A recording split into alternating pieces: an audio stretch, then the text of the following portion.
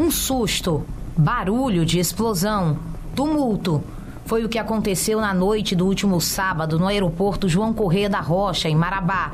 Um caminhão que realizava a manutenção da pintura da pista do aeroporto explodiu por volta das 20h50 na cabeceira 7 do aeroporto.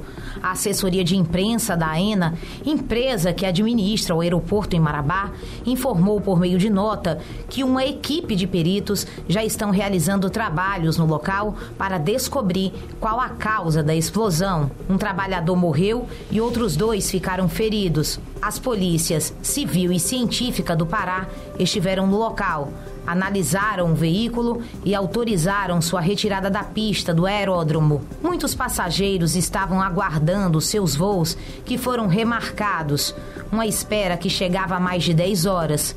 Este senhor que aguardava por seu voo reclamou da estrutura do aeroporto e viu tudo acontecer ele estava no aeroporto de Marabá quando houve a explosão. Eu cheguei aqui por volta de 20 horas mais ou menos, né? E logo após ocorreu a, explosão. Inicialmente eu pensei que fosse algum pneu, dado a distância da pista, né? Porque foi no, no final de pista que aconteceu a explosão. E aí a gente percebeu algum movimento diferente em função das viaturas que começaram a se aproximar, tanto da polícia quanto o corpo de bombeiros, é, a federal também. Aí no primeiro momento eu pensei que fosse algo relacionado com alguma tentativa de, de, de ato terrorista, qualquer coisa do gênero, ou mesmo algum acidente que aconteceu das proximidades, porque não dava para você perceber a distância, né? Quando aconteceu. Aí, aí as companhias, nesse inteirinho, eles estavam fazendo a troca é, eu estou indo pela, pela Azul.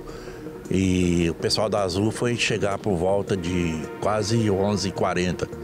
Até então a gente só tinha informação que você via do, do site, né? O Correio estava divulgando a respeito do, do acidente que havia ocorrido, inclusive com vítima. E aí foi por volta de, de uma hora quase que eles divulgaram então que os voos seriam cancelados, que eles iriam tentar ver se não, não, não, caso não tivesse nenhum problema na pista, a, a, seria normalizado, mas aí já mais tarde, né? Só que esse mais tarde eu não pensei que fosse tão mais tarde, né?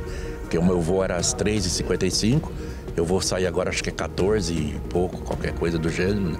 Então é muito incômodo porque esse aeroporto ele não oferece conforto, comodidade nenhuma, né?